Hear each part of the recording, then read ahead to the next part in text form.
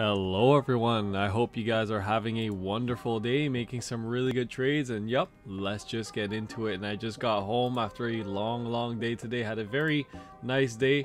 Uh, unfortunately, my car ran out of gas, so that's probably why I'm making this video a little bit late today. But yeah, overall, let's keep going. Let's not mind that.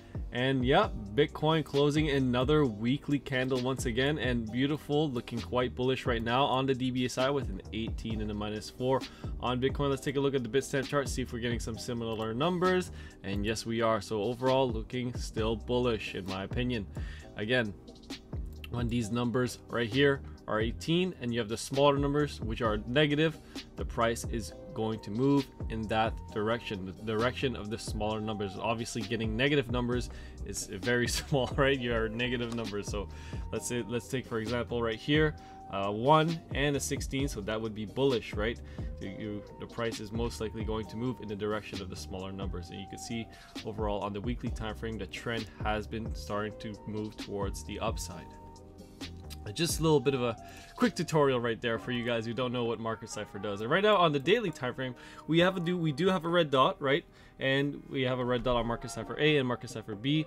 Momentum waves cutting in right here. And the VWAP is at the zero line so we could be getting ready for a small pullback. But again in my opinion this could be the beginning of a potential bull flag formation you know bull flag consolidation Again, it's very immature right now. Nothing too clear yet. We're just going to have to see how this one plays out. Uh, if we do keep going towards the downside, we do have some vector candles to be recovered on the 8 hour and on the 12 hour right here, as you can see. Does this mean we are going to go all the way down right now to 21,184 to recover this green vector candle? Not necessarily. These vectors could be recovered in the coming days or the coming weeks.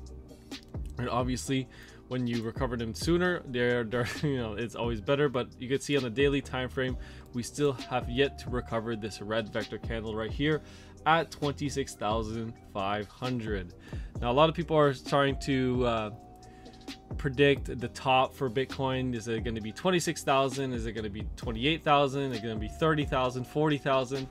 Uh, well, right now we can take a look at some key levels, like we see right here, which is around 26,000, which was the previous low right here from this wick, I, and which is actually the top of this red vector candle around that area, 26,600 and you can see right here 26,600 so most likely going to see some major resistance around 26,600 but if the traditional markets have enough strength to keep pushing up as you can see the SPY and the Nasdaq have been having some amazing days already. Uh, Nasdaq is at resistance right now in my opinion. So right now we have been getting some very nice green days on the SPY and the Nasdaq and the Dow Jones. And we're actually breaking above some some short-term resistance right now. But overall Things are looking quite good. Could we top out at any moment? Absolutely. We are in a bear market and we are still, in my opinion, mostly going to go down back to the 2020 highs before we get any major, major bear, bear market rally. But who knows? This could be our bear market rally. You know, we were just announced into a recession. Things were looking really good. I know being announced into a recession is really bullish news because it means uh, potential rate cuts coming in the next at the next meeting, or at least a reduction in the rate cuts. So if unemployment numbers start to spike, uh, definitely those rate cuts will be coming. But again, none of this is financial advice. Do your research. And yeah, let's just keep going. Let's do a little bit more analysis on, on Bitcoin, uh, where we could be going. And again, we have this major trend line right here that I want to show you guys.